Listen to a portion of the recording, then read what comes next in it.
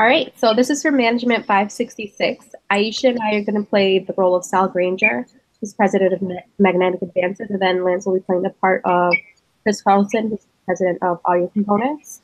Um, so we're just going to get right into it. So first of all, I just want to thank you for taking the time out of your day to meet with us. Uh, we really appreciate and look forward to making a deal with you that we can both agree on. So let's just jump right into it. So as you know, Magnetic Advances was originally presented with the opportunity to do developmental research on this concept at the time, um, which is about three years ago. Um, this concept would originally um, start off as a magnetic component that would evolve into the Z25. However, our engineers in our division were uncertain about the technology at the time. So due to the ADL's concept that would be developed, we decided to forego it. And I guess the opportunity was passed on to audio concepts. Um, however, now we have been, I guess, given the charter to sell externally. So we're really looking forward to securing the Z25 technology in our division to further gain more profitability for the company as a whole. So all in all, I think that our division, uh, Magnetic Advances, could be the step in the right direction to get exposure and profits out of the Z25. What do you think? Absolutely. Um, I want to thank you for uh, also taking the time to meet today uh, to discuss the uh, Z25. And I think your your division is is more equipped. That's your specialty, the magnetic components, mm-hmm. to market and sell the Z25. Um, we did spend 12 million in three years uh, to develop it, and we're just looking to, you know, recoup our, our investment and and some profit. So if you don't mind me asking, um, how much is your profit currently just selling internally to everyone else across El-Tek? Well, we we estimate we ran the numbers, and uh, we estimate uh, it's got a two year life uh, shelf life mm. of about fifty five million. Okay, so that's that's not bad at all. But um, so we kind of ran our numbers too, and we estimate if we can sell it externally, that you know we'll be almost able to double that so I think you guys will be able to make a really good profit off of that as well if we like, you know, build up this partnership. Okay, sounds good. Uh, what what kind of offer did you have in mind? So as of right now, we're really open to making the negotiation and the deal. So we're considering both ends to make it uh, fair compromise. Ideally, we're looking to meet to an agreement instead of having to get management involved. As you know, uh, the CEO made it clear that a pattern of picking up decisions to corporate would be disadvantages to managers' careers in each division. So reaching a mutual agreement would be in both our best interest. So at this time, um, do you have any idea of what you're looking for in terms of the transfer price as well as any profitability that you're looking for? Well, um, actually, we, we we ran a couple numbers. We uh, came up with a, a, bunch of figures, but I, I like to keep it kind of simple mm-hmm. rather than get into percentages back and forth. And I know there's some discussion on how long we want to keep it internal as opposed to you guys want to sell externally. It does have a two year shelf life. Mm-hmm. And so, what I was sort of thinking it over, my proposal is an outright buyout where you guys just take control of the product and from day one you could hit the ground running and we don't have to negotiate back and forth as to how many months uh, you got to sell internally, then switch to externally, because it does have only a two-year shelf life. That is very true. so, so, if if you hold off for a year, that that's a whole year. Your competitors could get, you know, an advantage. Right, and we understand that now with the two-year shelf life of this product have you guys been doing any internal development, research, or testing to improve the life of the product beyond the two years? Are there any advancements being done in place of that? Well, as of right now, we're we're ready to market and hit the ground running with it. So what you're saying is you haven't done any testing beyond the two-year shelf life. Correct. Okay. So that would be something that we would have to, I guess, put more investment and money into really securing it to go beyond that two-year lifespan to increase profitability as well. Well, yeah, you guys do specialize in magnetic uh, components. That is and correct. So that's why you guys are probably better suited to further, um, could probably market it better and sell it better. No, that's true. And I understand that you did spend the 12 million in the original three years that it took to develop and research this product. So I understand you're probably looking to recoup the amount that you already invested in there initially. And I guess from the profits that we'll be securing with the Z25, uh, we'll be cutting you a piece of that as well. Well, that's why I just perhaps proposing just a total total buyout and you guys just take over the product. Maybe Okay. sort of like we estimate 55 million lifetime profit plus 12 million in the development. And then we guarantee the 5 year 5 million to to buy the product. So I'm proposing maybe just 70 million one shot deal buyout and you guys can hit the ground running and you don't have to sell internally for six months or 12 months and then externally you could just start marketing and selling from day one internally or and externally which i think will help you guys out a lot Um, so I mean that's a that's a really good deal, and you know we're definitely gonna consider that. Um, but however, we kind of ran the numbers too, and we think that you know you can help us gain a profit if we, you know, stop selling it from selling from your competitors for six months. Then you guys will be able to also sell it at higher prices, which in turn, like our our profits combined would be end up being higher than just us selling it externally and just giving you guys a 70 million. So if we if we work together to sell it and like block it off of the competitors, it's gonna be a closer to, you know, maybe like a 150 million profit overall. And then, you know, we would give you a percentage of that as well. So the transfer price would end up actually being lower. Um, you know, we would definitely consider a transfer price like maybe around like enough to cover everything that you guys put into it. So definitely like 12 million, but then give you guys a bigger cut of the profit and possibly give you guys a future discount when you guys are purchasing um, Z25 internally. Because if you guys, if we just give you guys a 70 million, then we're not going to be able to give you guys a discount on Z25 when you need it for your own products. And we make Z25 at a much um, cheaper cost because I think our variable costs are, are lower than yours. So I don't think it'll be as advantageous as partnering up and you know s- splitting it. okay. So what do you have in mind then? What, what's your uh, as far as 12 million for the development cost plus what are the terms as far as the marketing or selling internally versus externally So we would, um, Go ahead. hopefully- yeah. Leanna, do you want to go over that? Yeah, so before we actually jump right into those numbers, I just want to get a sense of approximately how much a year would you be estimating spending on the Z25 from us? Like, what order quantity do you think you have in mind? I was approximately five million over the two years. Okay, and were you considering like looking for a discount when you're ordering from us over the entirety of the transfer price? Uh, we were we consider uh fifty percent discount. Fifty percent. Okay, so I mean we can consider that. However, we were considering something a little bit on the lower end, and fifty percent is quite up there. We're not sure if that'll yield pos- profitability for us. So that's something we would have to um, discuss amongst ourselves.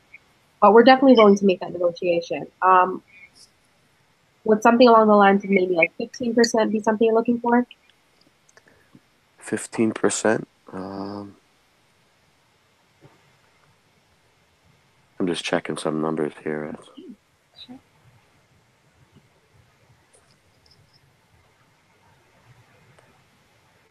Is that on the first five million? What if we we're estimating five million over two years? What if we um, purchase more, say seven to ten million? Would we get a higher discount? Well, we're just looking for an estimated figure as what as to what you're probably looking for during the first few years. So, like you said, two years you're expecting about five million. So, if your needs change to like seven million or ten million, or whatever the case is, um, that's something we'll have to work out with the discount. Of course, we're looking to make the profitability, but at the same time, you can't extend such a discount where the profits won't be in there. Unfortunately, um, year to date, as of last year, you guys purchased about seven million from us. So to say that you guys are going to only purchase five million is already a little bit lower, so we can't really give that much of a Couple We're of just discounts. we're just being a little conservative. yeah. So okay, um, talking twelve million plus a fifteen percent discount. Now, how long do you expect us to extend this discount for? Is it just for, let's say, two, two to five years, or is it like continuous? Uh, we just estimate over the, the shelf life of the product because after two years, Right. basically, there's been a lot of competition. But every time that you reorder, are you going to be expecting a discount as well? After the two years, Correct. sure, why not? But keep in mind, willing. go ahead. Um, we do collaborate on, on uh, other projects, so I think fifteen percent standard discount would be um, would be pretty fair. Okay, we'll definitely give that consideration. Um, but we just want to understand exactly, like, I know that your needs are probably going to be changing throughout the course of the years. So from going to 5 million to 7 million, 10 million, whatever case is for however much you want to order, we just want to make sure that there's profitability all around. And as you know, if each division has profitability, the entirety of the company is doing well too. So we just want to make sure that the company is benefiting in our best bets. Absolutely, um, that's what we want. We want a win-win on both sides, uh, so we could do business in the future. Exactly. And then how much um, how much of the profit were you expecting to re- get out of this as well? We're already giving you a fifteen percent discount on you know purchasing it. Well, we estimated that the total profit could be fifty-five million over the, the shelf life. Okay.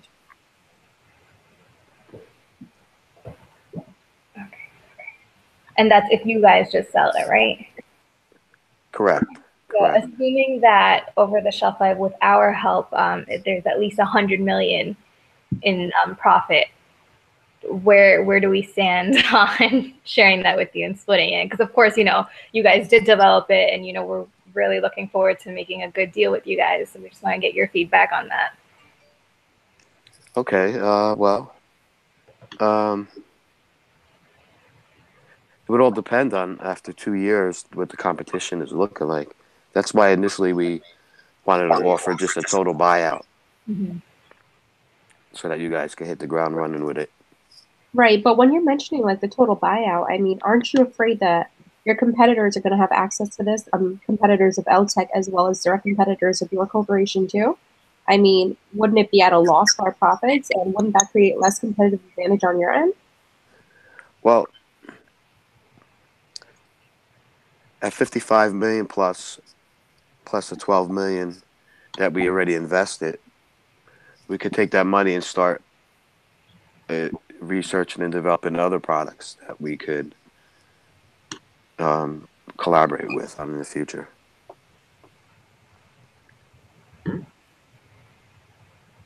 Okay, so of course this means that if audio components is suffering in profitability, if we're just exposing this product directly in the open market, does the entirety of El-Tek as a whole, specifically referring to the V5, also suffer? I mean, when we're looking at it this way, is that we're introducing the product to the open market. So basically, any competitors of El-Tek, including any of our divisions, would have um, access to these products directly. So wouldn't that create, I mean, a disadvantage? Yeah, I don't think the managers would, you know, totally go for that deal or be pleased with this deal because that would open the competitors to gaining access to the same inform, uh, information that we have, and then you know that would lower our overall profits, like El-Tek's overall profits in the end. So I think the managers would, you know, um, I mean, do you upon have like specific limitations that you're willing to explore when it comes to releasing this product to us? Um, I think that that would probably be a better case for us. Like, for example, taking on like a six month period where we can't sell to our direct competitors. Would that be something you'd be willing to consider um, during the initial run? Well, if you if you don't want to go for the total buyout, um, how would nine months sound to be able to sell to externally? we were hoping more around six months. Again, we don't, those extra three months could mean that we'd be losing profitability. We just want to have that trial period of six months where we're able to test it out and get a feel for how things are running internally before we expose them competitors outside externally. So we just want to Yeah. feel Internal able to be in a competitive Okay. advantage. as well. Uh, that makes sense. Um, so, so what would be your final proposal then?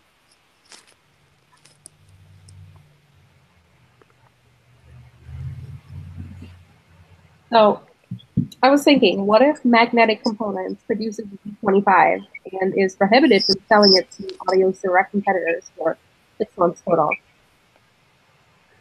So six months plus the twelve million that we spent in development costs. The development costs overall for the three-year period. Okay, and um, and fifteen percent discount. So we would have to discuss the 15% discount. What do you think? Um, I think I, I think it's a better idea if we can offer you maybe a ten percent discount, but also give you um, so You At least at least half of um, half of the profits half of the profits that we receive. So we kind of make around um, like fourteen percent of, of the profits of all the external sales. So if we give you around six, seven percent of that, how would you feel? That's half of what we make. All right, you know what? Because I'm in a really good mood today, and I'm feeling really good about this product. Uh, We like to hear that. I I think that's something we can work with. Okay, so does that mean we've reached a mutual agreement then? Absolutely. Okay, awesome. So I guess our final agreement is that we're going to go for the six month trial period where we can't sell to Audio's direct competitors uh, for the Z25. Otherwise, I believe we'll be able to sell internally though, correct? Correct. Okay, and I believe we should be able to meet that 10% requirement for internal sales, knowing that so many of other other, other divisions within the company rely so much on the Z25 um, technology already. So there's no doubt in my mind that we'll be able to secure that deal and really make the profits for the company as a whole. And we're Okay, giving great. the profits, which is kind of half of what we make as well. Yeah, plus that we do specialize in magnets over here at um, our division, so we'd be able to produce it cheaper anyhow. So it'd be a less of a burden on your division's and if you were to produce it because you would be putting more time and effort into development. So yeah, overall, I think Okay. that's a fair deal. Yeah, I think it's great. I think it's a win-win, and it worked out. Awesome. It was a pleasure working with you. Oh, you too, Sal. Take future. care. All right. Okay. Bye. Bye-bye. Bye.